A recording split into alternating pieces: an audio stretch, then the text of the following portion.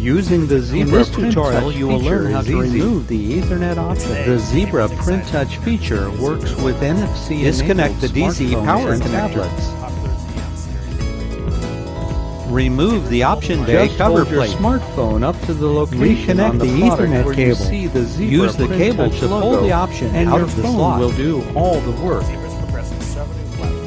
Install the Once option bay information cover has plate. been read, your smartphone will display a menu of choices specific to your Zebra product. Now, 2014 introduction of the ZT400 series.